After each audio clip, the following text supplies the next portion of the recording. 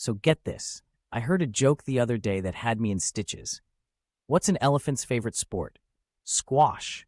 I mean, can you imagine a big ol' elephant trying to play squash? It's like a scene straight out of a comedy movie.